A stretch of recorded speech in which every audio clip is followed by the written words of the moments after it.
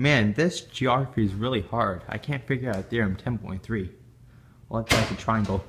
Mr. Stevenson, you're here. I'm here to help you never give up on that. Really? So I heard you were having some troubles with 10.3. Yes, well, sir. you know what? I'm here to help you. So first thing we have to do is like start it. So we're gonna have to draw a circle.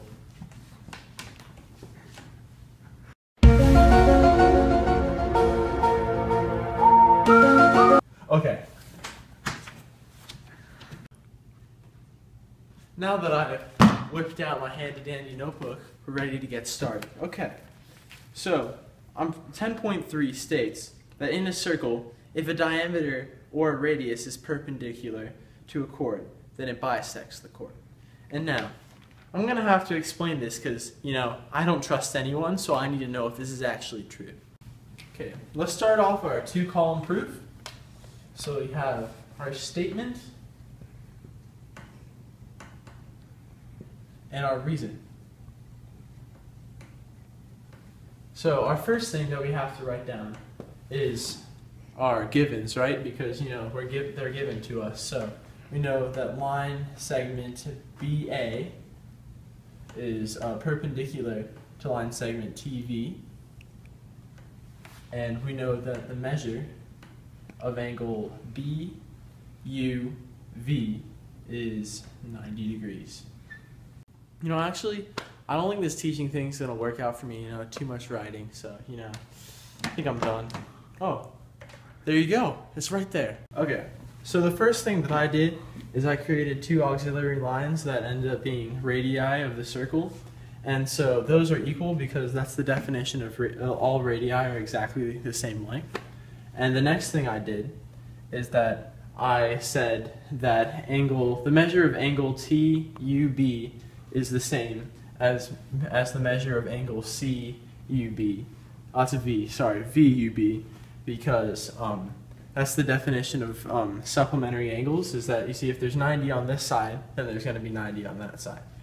And then the next thing I did is I used the reflexive property because you see this this line it's uh it's um line VC. You're in UC, sorry, it's line UC. And line UC is used in both triangles. And so I said that it was equal to each other in both triangles. And so that way you have a side, a side, and then an angle on both that are exactly the same. That's how you know that it's a because that's one of the rules to make it a congruent triangle. And then I said that line segment TU is the same as line segment UV because congruent parts of congruent triangles are congruent. And that's the explanation of this. Now we'll go on to an example. Okay, so here's the example question. So I just wrote a little bit of a little note up here. And it said a diameter or, or radius, if it's perpendicular to the chord, then it bisects the chord and its corresponding arc. So now that we're reminded of that, let's start the example question. And the example question is, if the radius of circle Y is 34 and the length of line AB is 60 and the measure of arc AC is 71, find each measure. So let's find the measure of arc BC. So that's this arc right here. Hmm. So, so we know that angle of AC is 71, and we know that this bisects. That means cut it in perfectly in two of the of the chord and its corresponding arc. So that means we can assume that the arc BC equals 71. Because it's the same thing, right? They're congruent. Yes, they are congruent. Okay, and so now I'm going to explain how we find the measure of line AD. And so we know that line AB equals 60, and we uh, know that this radius bisects this chord, so cut it, cuts it equally in two. So we know that this would equal 30 because it's just 60 divided by 2. So it'd be half, right? Exactly, Nathan. You're a good student. Okay, now for the measure of arc for the arc AB. So that's that one right there. And we know that AC equals 71, and we know uh, BC equals 71. So you just add those, it'd be 142. And for the last one, find measure of BD. And like we said, we know that this bisects this, so cuts it equally in two, and we know that AB is 60, so this would be 30 as well.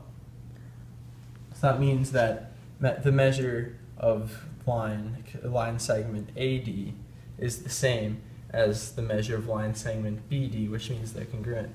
And that's the example. And hopefully, students, you have figured out how to do this today. If not, I should be fired. Okay. Thank you, Peace out, yo. Professor Simpson. You're welcome.